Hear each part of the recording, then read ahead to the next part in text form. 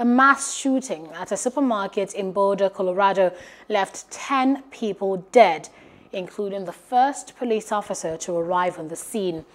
Police gave few immediate details of the shooting and no known motive for the violence. It unfolded at about 3 p.m. local time at King Supers, a grocery store.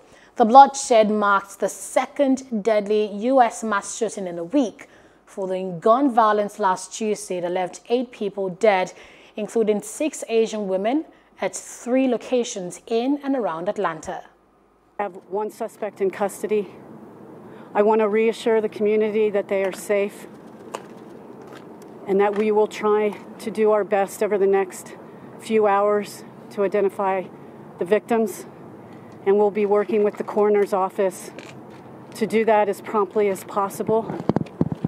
I also want to stress how incredibly sorry I am for all the victims who were killed at King Supers. These were people going about their day, doing their food shopping, and their lives were cut abruptly and tragically short by the shooter, who is now in custody.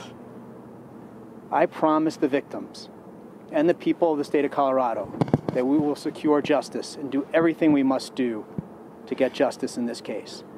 As I mentioned, the shooter is currently in custody. He was injured.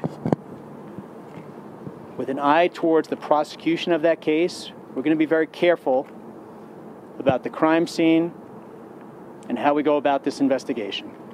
We owe it to the families of all the victims, each and every one of them, to ensure that justice is done.